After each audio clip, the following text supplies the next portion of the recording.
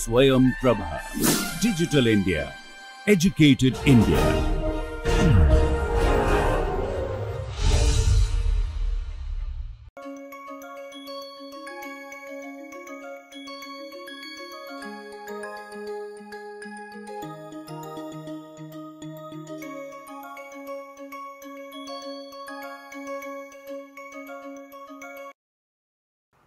Welcome back. We are studying the Legendre symbol which we have defined in particular to study quadratic residues modulo n. So, the Legendre symbol definition was somewhat complicated. It was defined with respect to a, a given odd prime p and whenever we are given any natural number n or indeed any integer n then we compute this Legendre symbol to be 0, 1 or minus 1. We define it to be 0, 1 or minus 1 depending on whether p divides a and in the remaining cases we will take p to be not dividing a and then the Legendre symbol is 1 when a is a square modulo p and minus 1 when a is not a square modulo p. So, this is the way we have defined our Legendre symbol, but in the last lecture in the very last slide we proved a result which is a very remarkable result which we have here on our slide which tells us that the Legendre symbol A by P can be computed simply by computing a particular power of A modulo P. So, all we have to do is to compute this power of A, go modulo P and then we are done. So, for instance, if you were to compute some Legendre symbol of a number A modulo some prime which is moderately high, then you would have to only compute this particular power which is also not a very difficult thing for computer to compute. You know what a computer typically can do very easily is that it can compute squares of elements quite easily. So, whenever we are given any alpha in say some up, then a computer would be able to compute alpha square for you. And of course, this is something that we can use to compute all squares, but that would be too huge. If your prime is very big, then writing QP element wise will be very difficult. So, instead what we are going to do is that once we have this element A, we will compute A square, we will be able to compute square of A square which will give us A to the 4, we will be able to compute A to the 8, A to the 16 and so on as required. And after this if we wanted to compute a certain power of A, you have to simply take product of certain elements from this sequence. For instance, if your P was 23 and then you have that P minus 1 by 2 is 11, then you have to take A raised to 8 into A square into A. The product of these 3 elements will give you A to the 11. So, you have to compute A compute the square, compute its square and compute a power 8 and then take the product of these 3. That will give you a power 11 right away by doing these small computations. So, 1, 2, 3 and then 4, 5. Um, in 4 computations you would have computed a power 11. So, this is the way we are going to do the computations. Of course, here we will do the computations by hand. We will not be doing them using any computer, but we are going to follow the same method. So, let us see some examples. We want to say let us say that we want to compute this Legendre symbol A by P where A is 5 and P is 23 the same thing that I had told you about earlier. So, this Legendre symbol we know is 5 power 11 modulo 23. So, to do this computation we will compute these powers of 5. We have 5, we have 5 square which is 25 and therefore modulo 23 this is equal to 2. Then we compute 5 to the 4 which is square of 2. So, that quantity is 4 and further we compute 5 power 8 which is 4 square. So, this is 16 and therefore 5 power 11 for us is 5 power 8 into 5 square into 5. So, this is 16 into 2 into 5. So, 16 into 2 into 5, 16 into 2 is 32 which modulo 23 is 9. So, we have 9 into 5 which gives you 45 and now we see that this is congruent to minus 1 modulo 23. So, our answer is that the Legendre symbol of 5 with respect to 23 is minus 1.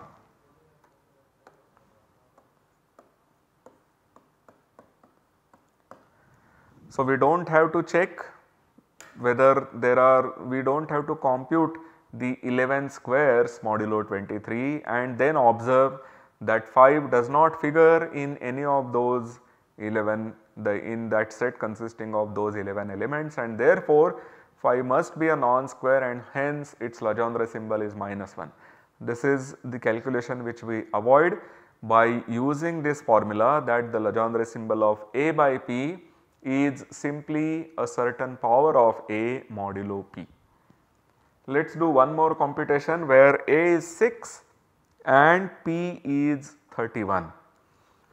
Let us do this computation where we are going to use both the results, two of the results that we have proved earlier and those results uh, will be used in the following way. So, we first observe that the Legendre symbol of 6 with respect to 31 is the product of these two Legendre symbols because we can write 6 as 2 into 3. So, we will have that the Legendre symbol of 6 is the product of the, of the Legendre symbols of 2 and 3 and now we will need to compute the 2 power 15 and 3 power 15. Remember 31 minus 1 by 2 is 15.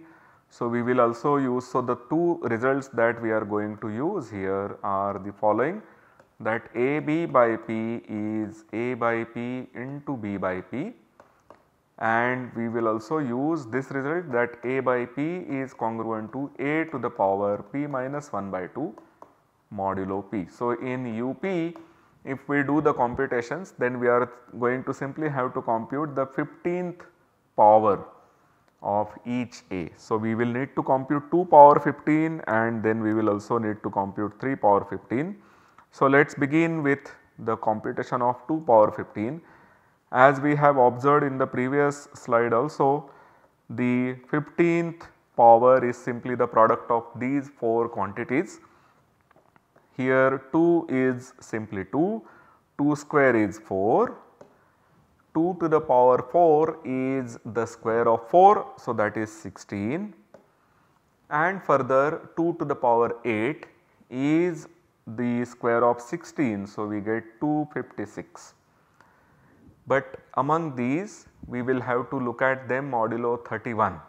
So, when you look at it modulo 31 16 into 2 gives you 32 which is only 1. So, you are left with 4 into 256, 256 is 2 raised to 8. So, that is 2 raised to 5 into 2 raised to 3 and 2 raised to 5 is 32 and 2 raised to 3 is 8. So, this is again 32 square 32 into 32 and so this is simply congruent to 1 modulo 31. So, 2 is actually a square modulo 31.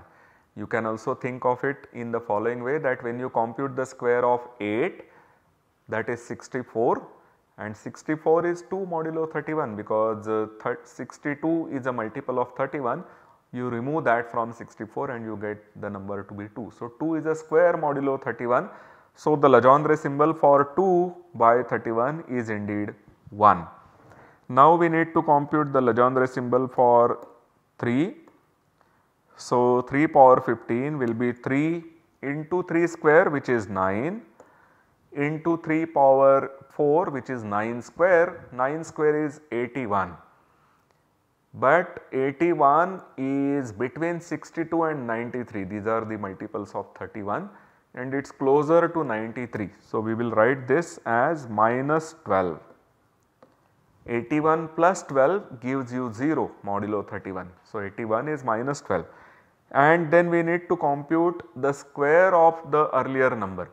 So, earlier number being minus 12 its square is 144 but 144 is 124 plus 20 and therefore modulo 31 these numbers are simply 20. Now when you compute the product of 6 the 20 into 3 you get 60 and 60 is minus 2. When you compute the product of 9 and minus 12 you get minus 108 but once again you will take away 93 from 108 to get this as minus 2 into minus 15 and finally you get 30 which is congruent to minus 1 mod 31. So, we therefore get that these numbers are 1 into minus 1 and therefore the final answer is minus 1. So, we can compute the Legendre symbol of 6 by 31 quite easily. Otherwise, taking the 15th power of 6 that also would be a very difficult quantity. That would be a very difficult computation to do. And if you were to look at all the squares modulo 31, you would have to compute squares of all elements or at least half of them and you would have gotten 15 elements and then you would have realized that 6 does not figure in them and therefore 6 is a quadratic non-residue. But this computation alone has reduced our number of computations very much and to a manageable number. This is how we are going to do the computations, but we would like to have further formulae. Suppose I were to look at the quadratic residue of 2 modulo each prime do I have to compute this power every time or is there a simpler formula telling me that if the prime is of this form then 2 is a quadratic residue and if the prime is of that form then 2 is not a quadratic residue. Is there a formula like this? Yes, there is a nice such formula. This is part of what are called the quadratic reciprocity laws. So, we will go towards proving them, but note one of the simplest possible laws from here which is that from the previous theorem that we have proved when you take a to be any integer we have noted that the residue symbol the Legendre symbol a by p is congruent to a power p minus 1 by 2 modulo p and therefore if when you take a equal to minus 1 we get this particular result. So, we get that minus 1 over p is congruent to minus 1 to the power p minus 1 by 2. This will also tell you that we get equality, we do not get a congruence. And the reason for this is the following fact that this is either plus 1 or minus 1 and of course all powers of minus 1 are also plus 1 and minus 1. So, when you have plus 1 here you should have plus 1 here. Because minus 1 sub p equal to 1 if and only if the other side gives you 1. because if this were 1 and this were minus 1 then you would have that the difference of 1 and minus 1 being 2 is divisible by an odd prime which is not possible. So, here because the numbers are 1 and minus 1 the differences can be 0 or 2 or minus 2. Therefore, since p is an odd prime the difference is only allowed to be 0. So, instead of congruence we have an exact equality on the nodes. We can compute the Legendre symbol of minus 1 with respect to any prime simply by observing whether p minus 1 by 2 is even or not. So, here we will of course see a formula for 2 also, but I will just let you that this is 1 if and only if p minus 1 by 2 is even. So, this is true if and only if we know that p is congruent to 1 modulo 4. Among the primes which are odd, p is either congruent to 1 modulo 4 or it is congruent to 3 modulo 4. So, whenever p is congruent to 1 modulo 4, minus 1 is a quadratic residue and whenever p is congruent to 3 modulo 4, minus 1 is a quadratic non-residue. Now what we do is to find a result for computing the Legendre symbol of 2 with respect to an odd prime p and this is that beautiful result. So the earlier page that we have seen this is called the first part of the quadratic reciprocity law. The result for 2 is called the second part of the quadratic reciprocity law. So, this will tell you that 2 is a square modulo p if and only if p is congruent to plus 1 or minus 1 modulo 8. So, all you have to observe is what is left for p once you go modulo 8. If what you are left with is 1 or minus 1, so, for instance, if you were to take p equal to 31, then we know that 31 is congruent to minus 1 modulo 8 because once you divide by 8, 8 into 3 is 24 and 7 is left or 8 into 4 is 32 and therefore you have minus 1 and then by this result 2 has to be a quadratic residue. So, this way we can reduce our computations further once we prove this result the proof of this result is also quite nice. So, I request you to pay close attention to this proof. The proof is given in the following way. So, we observe that 1 is congruent to minus 1 into p minus 1 mod p and 2 is congruent to minus 1 square into 2 mod p. 3 is congruent to minus 1 cube into p minus 3 mod p and so on. So, if you observe this carefully what we are doing on this side is that we are writing all the elements which are up to p minus 1 by 2. So, our last number here would be p minus 1 by 2 congruent to minus 1 to the power p minus 1 by 2 and here we would have p plus or minus 1 by 2. So, I will explain what we are looking at mod p. The elements on the left hand side are all the numbers up to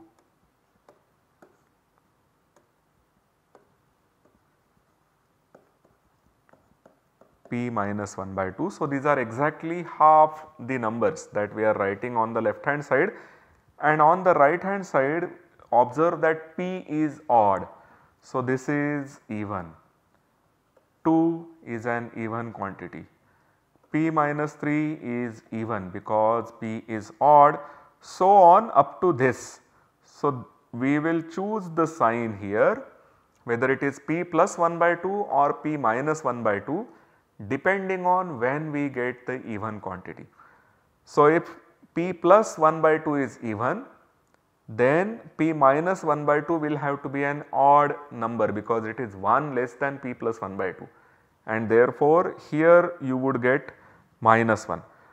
So, observe that p plus 1 by 2 is even if and only if a very simple statement p minus 1 by 2 is odd. So, when I have p plus 1 by 2 here this is going to be minus 1 because it is minus 1 to the power an odd number and I am indeed going to get minus of p plus 1 by 2 to be p minus 1 by 2 modulo p. And if p plus 1 by 2 is odd or in other words if p minus 1 by 2 is even. So, if we choose the minus sign here then of course this will become plus 1 because it is minus 1 to the power an even quantity. So, here we have on this side we get all the even numbers which are also less than p. So, here we get all even numbers up to p minus 1. On the left hand side we have all the numbers up to p minus 1 by 2. So, if I were to take product on the left hand side I will get p minus 1 by 2 factorial.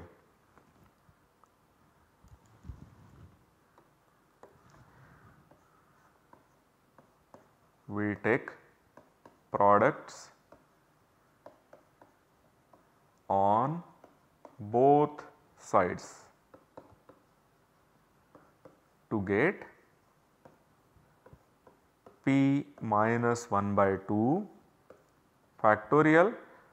This is going to be congruent to on the right hand side you remember that there were minus 1 to the power 1 plus 2 plus 3 plus dot dot dot up to p minus 1 by 2 this was the sign on the right hand side and then we had product of all even numbers up to p minus 1 and therefore we had these to be 2 power p minus 1 by 2 into p minus 1 by 2 factorial.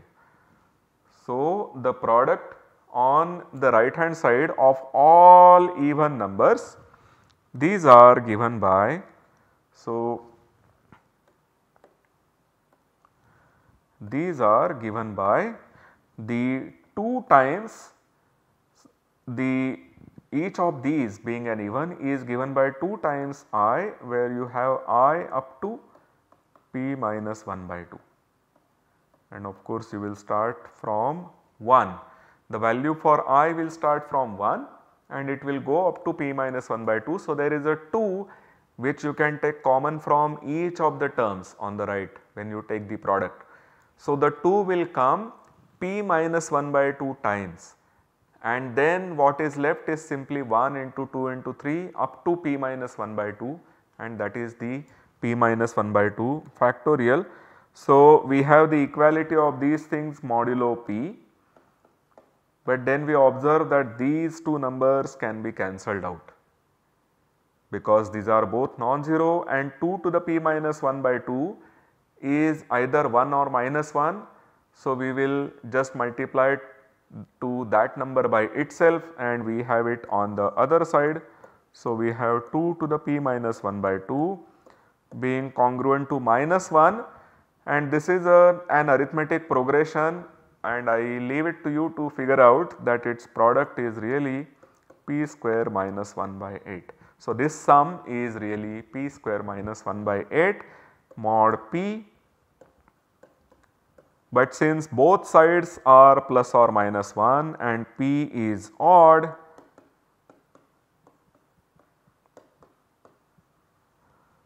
this is equal to the Legendre symbol 2 by p but since p is odd for 2 by p and minus 1 to the power p square minus 1 by 8 we get an equality. So, this allows us to compute the Legendre symbol for the integer 2 with respect to any odd prime. And now this is exact this is going to be 1 exactly when p square minus 1 by 8 is uh, an integer. It is an even integer.